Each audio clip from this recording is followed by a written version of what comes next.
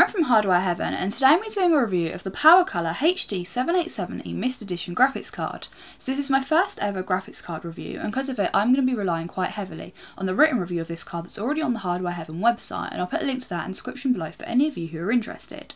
Um, but this is a new card, it comes in a great price point and in this video I'm going to be comparing it to the popular GTX 660 Ti. So let's get started. Before I take you for a look at the card itself, I wanted to cover something quite important. Now, even though this is a 7870, it's not actually a 7870. Basically, 7870s use a Pitcairn GPU, um, and 7950s use a Tahiti GPU, and this 7870 actually uses a light edition Tahiti GPU. Um, so architecture-wise, it's actually a 790 something, rather than a 7870, um, as it can't crossfire with other 7870s, but it can crossfire with 7950s and above.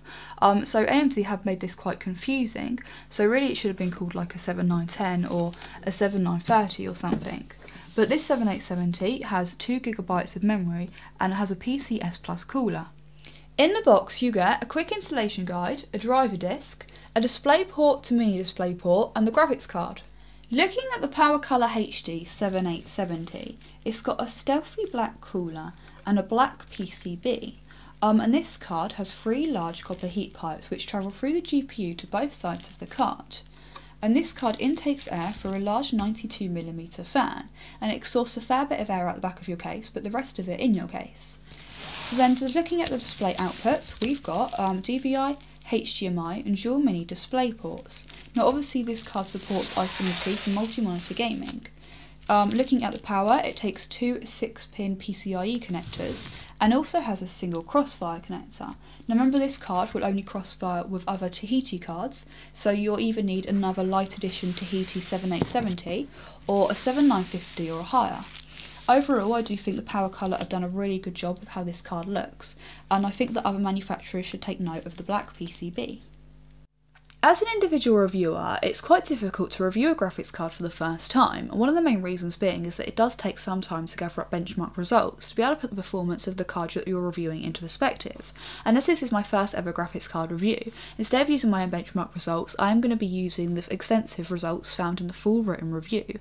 Um, so starting with the 3D Mark 11 results, you can see that PowerColor's Myst Edition HD 7870 does outperform a standard 7870, but um, isn't anywhere near as good as a 7950. This card also outperforms the popular 660 Ti, which is actually £40 more expensive, so this card is looking pretty impressive so far. Moving on to Far Cry 3, you can see the card's performance in a real-world gaming test, and this 7870 um, outperforms the 660 Ti by a couple of frames per second. And then moving on to Assassin's Creed 3, this Myst 7870 actually outperforms the 660 Ti by an average of 20 frames per second. Um, but if you do go for a 660 Ti instead, it means you do get to enable NVIDIA's new TXAA anti-aliasing, which is something that I haven't had a chance to play with yet, but it does look really epic. Moving on to multi-monitor gaming, here is the results of Skyrim running in 5760 by 1080. Um, and as long as multi-sample anti-aliasing isn't enabled for obvious reasons, um, PowerColor's Myst Edition HD 7870 does do really great across three monitors, and once again outperforms the 660 Ti. So then lastly, this card's default clocks is 975 MHz for the GPU clock and 1500 MHz for the memory. Now in the written review, Stu actually did manage to overclock the GPU clock to 1090 MHz and the memory clock to 1635 MHz. Um, unfortunately, I could only achieve 1435 MHz for the GPU clock and 1565 MHz for the memory clock, um, and that was in my workstation PC. And I did find that if I tried to increase it more than that, I did start to see artifacts, even with the power control slider up to plus 20%. Um, but I do think that's mainly down to the fact that my rig does need some serious TLC. But it's not uncommon for a Tahiti Light Edition based 7870 to far exceed a 100MHz boost to both the GPU and memory clocks. So concluding my thoughts on the PowerColor HD 7870 Myst Edition graphics card, I have to say I am really impressed. I've had it in my workstation PC for a little while now and found that it's completely round rings around my old GTX 580.